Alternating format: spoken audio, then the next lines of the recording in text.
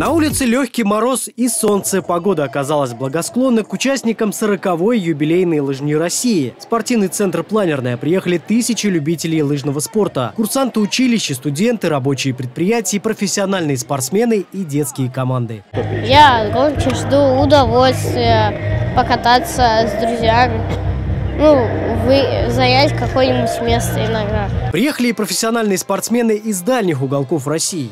Это абсолютно наиважнейшее мероприятие, потому что с точки зрения физической культуры, с точки зрения общественных взаимодействий, а, очень важно, чтобы люди объединялись и объединялись в добрых делах. А спорт – это добрые дела. Спорт – это движение. За несколько минут до начала старта активисты партии «Единая Россия» сняли видео с российскими флагами и пожеланиями нашим олимпийцам, а также включились в массовую акцию. Квадрокоптер запечатлел с высоты птичьего полета тысячи людей, скандирующих «Болеем за наших, любим Камилу». В поддержку российской фигуристки видео отправят спортсменам в Пекин. Болеем за наших, любим Камилу! Массовый юбилейный 40-й заезд собрал более 7 тысяч человек. Старт был дан в Московской области и по всей России. Но это мероприятие идет по всей стране, да, в разные сроки, но это поэтому и называется «Лыжня России». 40 лет, это очень серьезно, и э, это показатель, что это нравится людям, люди это хотят, и то, что это востребовано. В это же самое время, как стартовала лыжня в Подмосковье, в Пекине российские лыжницы взяли олимпийское золото в командной эстафете. Э, Начало лыжни сегодня ознаменовано было фантастической победой нашей эстафетной женской команды.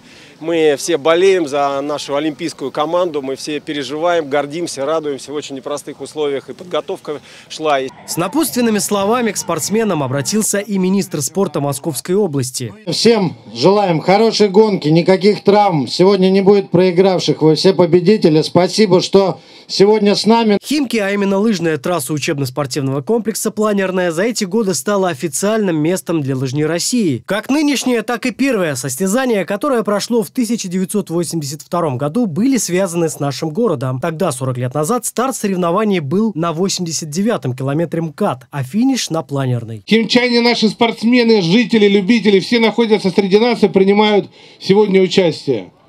Я хотел поблагодарить Министерство спорта Российской Федерации, Министерство спорта Московской области за помощь в организации этого мероприятия.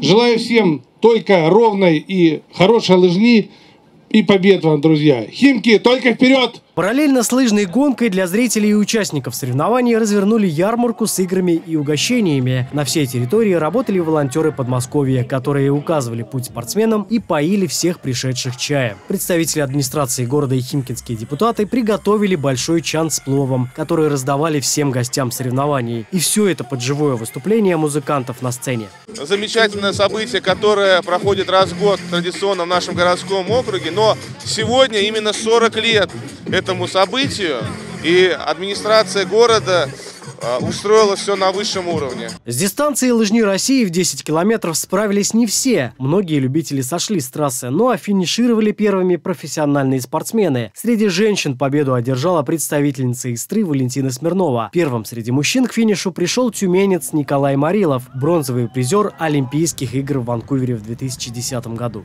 Лыжня России традиционный старт и традиционно проходит на высочайшем уровне, то есть это праздник. Это не просто соревнование, это наш спортивный российский праздник. Всего в разных возрастных категориях победителями стали 12 спортсменов. Все они получили ценные призы.